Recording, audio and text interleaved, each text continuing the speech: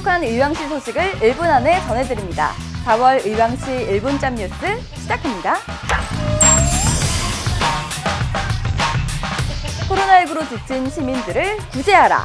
특별 미션을 받고 우리 집 발코니 앞으로 출동한 드림월드 필하모닉 오케스트라가 멋진 음악을 선사하며 시민들의 박수갈채를 받았습니다. 힐링으로 가득한 멋진 추억 감사합니다. 400여 개가 넘는 크고 작은 기업들이 의왕시에 보금자리를 꾸립니다.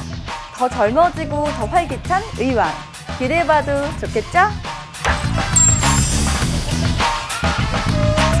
정부 긴급재난지원금 신청하셨나요?